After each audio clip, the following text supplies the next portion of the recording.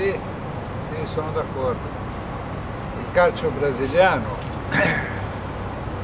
è un calcio, penso che la caratteristica più, più forte è la imprevisibilità. È imprevisibile. Questo eh, c'è una caratteristica che, che è la improvvisazione. Improvvisazione. Eh? Vuol dire improvvisazione è da decidere, da fare al momento, al momento, con le condizioni di momento. Una caratteristica importante della cultura brasiliana. Viene de, degli indiani, avevano che si decidere di fare le cose per sopravvivere, si dice sopravvivere, sopravvive al momento con le cose che avevano al momento. Questa è improvvisazione, si provvede, si provvede eh, al momento, il momento.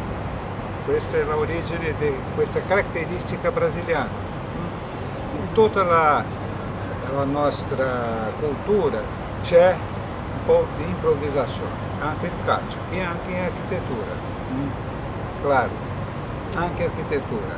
É, proprio Oscar Niemeyer é, che vuole di fare le sorprese, le sorprese alle persone, sorprese al visitante di sue opere, quando entra, quando vede e quando entra di fare le sorprese, sorprese successive questa è un'intenzione, una caratteristica. E anche penso che il calcio brasiliano è, è normalmente sorprendente per questo. I giocatori fanno, fanno improvvisazione, immagina che la palla può essere forse con, in giro, come questa Giabolani, giro subito.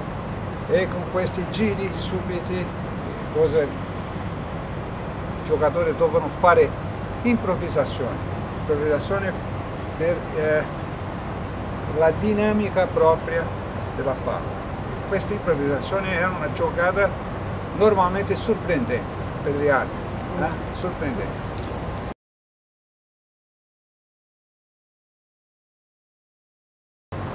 Nessuna.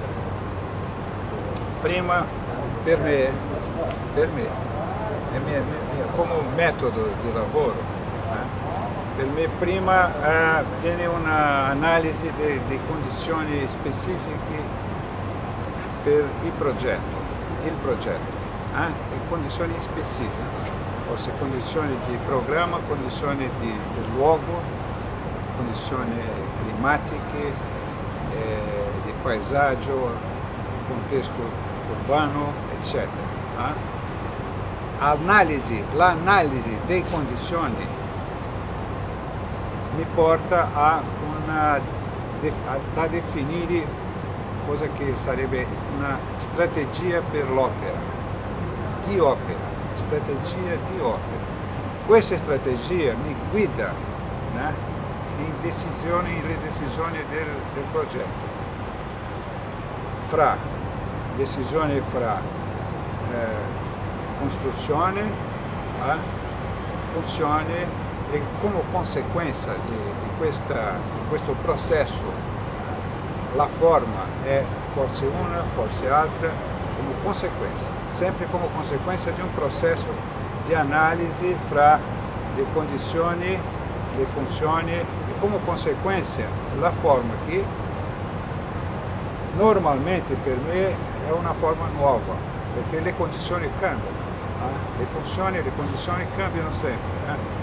Eh, Lucio Costa ha detto che l'architetto in quanto tecnico eh, eh, normalmente arriva a, una, a un momento dove le possibilità tecniche sono uguali, due possibilità tecniche, due, due vie, una via, un'altra via tecnicamente equivalenti chi decide è l'artista.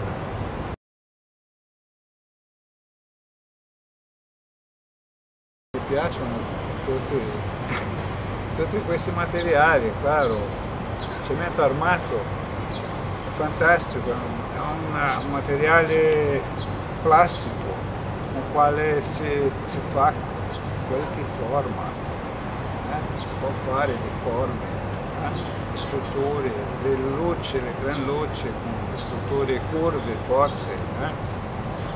È un materiale plastico, anche acciaio, un materiale interessantissimo perché permette strutture leggere, visualmente leggere, un processo di produzione anche industriale di prima a fare dopo a, sempre, a montaggio in cantiere, cantiere perfetto. E anche il legno, il legno ha una caratteristica interessante eh, perché per suo peso proprio è il meglio materiale eh, per suo peso proprio, per fare il lavoro, il lavoro di flesso compressione.